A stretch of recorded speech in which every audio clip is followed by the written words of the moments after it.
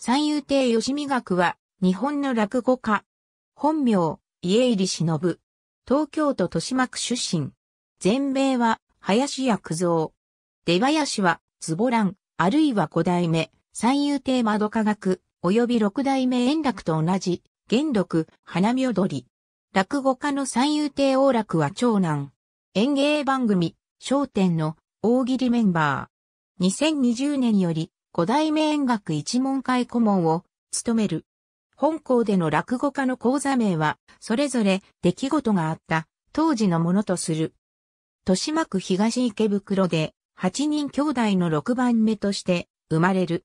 6歳の時に警察官であった父親が40代で急死した後は母親の手で育てられる。幼少時代はいわゆる面倒見のいいガキ大将だった。日頃は厳しいものの家事一切を済ませ、子供を寝かしつけた後、ラジオで落語を聞いて楽しんでいる母親の姿を見て、落語に興味を持つようになる。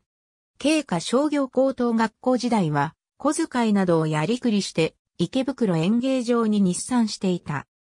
高校卒業後の1966年4月、19歳の時に八代目、林家正蔵に弟子入りを志願するも、その時は、私は来月70歳になるからと弟子入りを断られた。しかし、4回目の願い出でようやく死んだ息子と同じ名前だからと入門を許可され、林家信夫で前座1年後に九蔵の名をもらう。1971年11月に2つ目に昇進。1979年より日本テレビ系列の商店の大喜利メンバーに加入。1981年9月に柳家さん八、柳家小園寺、十代目土橋亭龍馬と共に林家九蔵で真打ちに昇進するが、それから間もない1982年1月29日に師匠、彦六が死去。それから約1年後の1983年4月、五代目円楽門下に移籍して三遊亭後楽に改名。同時に落語協会から大日本落語すみれ会へ移籍する。移籍後、古典落語をしっかり修行すべく、焦点を1983年10月9日、放送分を最後に一時降板。それから約4年半の地の1988年4月3日、放送分から降板した7代目、桂西賀に代わって、焦点に復帰する。2010年、初の落語集 CD、三遊亭工学落語集後日落語をリリース。2012年、自身の反省を振り返る、行楽日和を、小文社から上司。2013年には、自らの講座や若手の育成を目的に、自宅を新築して、寄せ、池の畑忍亭をオープンさせた。2015年から2020年まで演学一門会の会長を務めた。2016年から2017年にかけては、自身の芸歴50周年を祝う、幸楽ちゃん祭り芸歴50周年古希記念落語会を、王楽のプロデュースで開催した。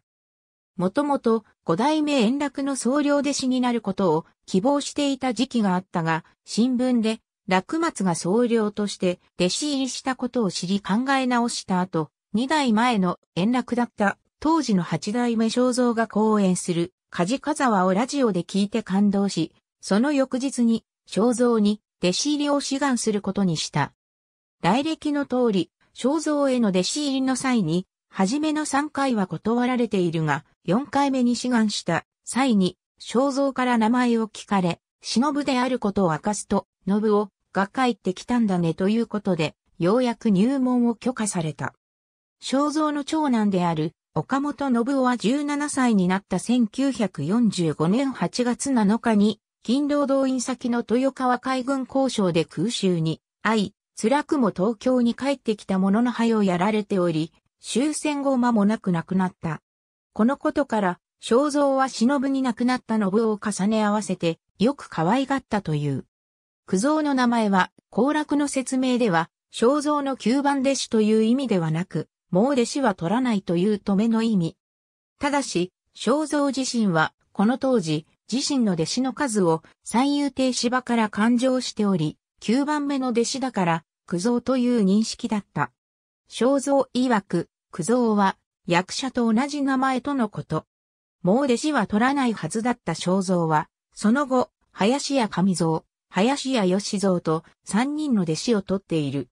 1971年11月に二つ目に昇進。昇進前、九蔵には後に妻となる女性と交際していたが、このことに関しては、結婚は真打ちになってからという不分律の手前から、師匠の肖像には黙っていたが、肖像に、お前、女ができたねと言い当てられた。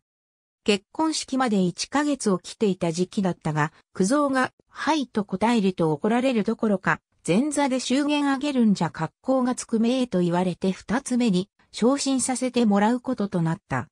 九蔵を二つ目にするためには、交番上他に10人も二つ目に昇進させる必要があったが、無事昇進した。妻の父は五代目、柳家子さんのひいき筋だった。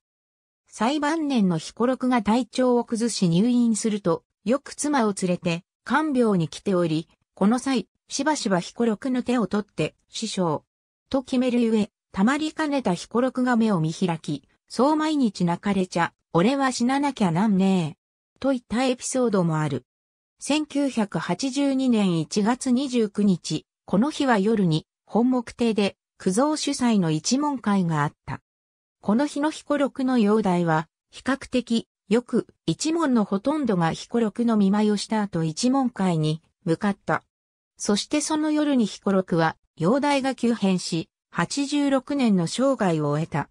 工学本人曰く、彦六からは23回も破門されたというが、いつもしばらくすると、なし崩し的に復帰が認められていた。彦六没後1年を経て、五代目円楽門下に移ることとなるが、窓科学一門会は、落語協会分裂騒動の末に、東京の寄せから締め出されており、このことから、周囲からは、バカだね。大企業を飛び出して、中小企業に行くなんてと言われたこともあったが、窓科学が好きだったことに加えて、落語はどこでも勉強できるという信念を持っていたため、移籍を決断した。円楽からは、酒を飲んでもいいから勉強しなさい。米屋や酒屋は、お米やお酒を売る。落語家は、話で食べていく。人間は誰でも言葉を喋れるんだ。その言葉を制御にするなんて不定商売だ。だから勉強しなきゃダメだよと、よく言われたという。競馬ファンとしても知られており、放置新聞に予想記事を掲載していたが全く当たらず、ほどなくして掲載終了となった。2004年、57歳で自動車の運転免許を取得した。兄は機動隊員で浅間山荘事件の現場に立ち会っていた。長男の一夫は落語家の三遊亭王楽で父親の師匠である五代目円楽に入門し、円楽にとっては最後の弟子となった。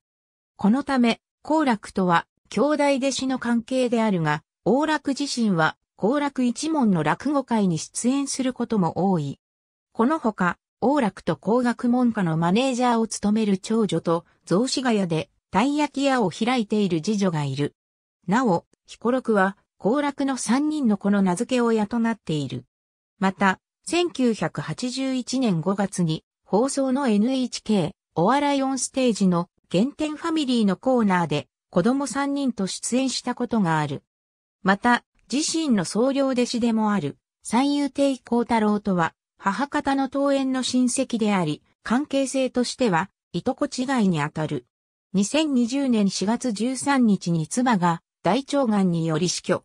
家族以外には一切非公表にして闘病を続け、遺言により一部関係者以外には不法が伏せられていた。その他タイトル未記入のものは、すべて、行楽日和からの出展。ありがとうございます。